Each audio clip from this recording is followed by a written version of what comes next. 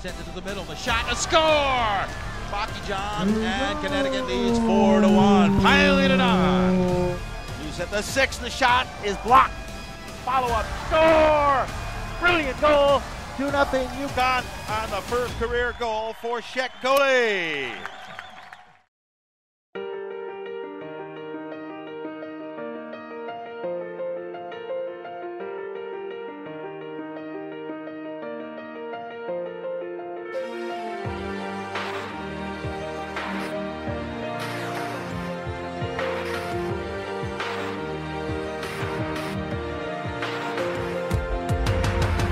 Was together from 2005.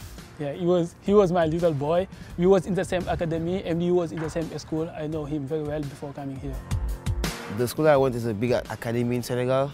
So it's like most of the best players in Senegal that go there. Diambars is a pretty you know big team in, in Senegal. Yeah.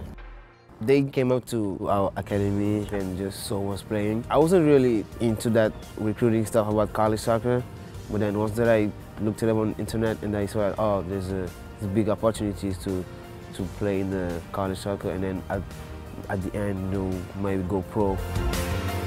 I decided to come here because like I want to get education, but after education, maybe uh, I have possibility to go play pro. I didn't want to come the first time, but I talked to Coly and he told me about UConn and uh, how soccer is uh, very important here, and uh, that's why I came here. I was really happy to, to have another Senegalese guy coming here because I was by myself here and I had to adjust to the language, you know, to the new culture. Having Abdul coming to UConn was just a, a bonus for me. He's very nice and he's very helpful. He know what he's gonna do for his life and he wanna change his life. That's why he's a worker and he has a good attitude. Since freshman year, I've, I've learned a lot, you know, from the, from the elders, from Mamadou, you know, from Sergio, from Besso.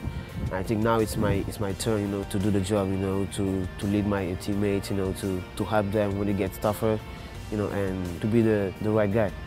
Thiam approaches, shoots, and bangs it home.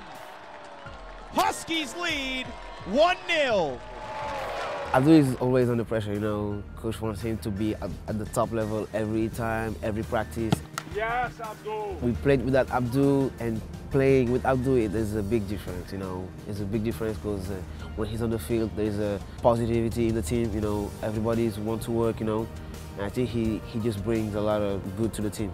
I just tell him to, to be himself, you know, like he always did in the past, you know.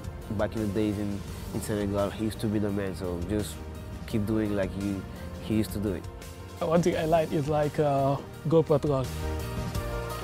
They give us uh, what we need. We need conf confidence to play. When I see them, I am so, so happy and I want to give everything I have to keep them happy.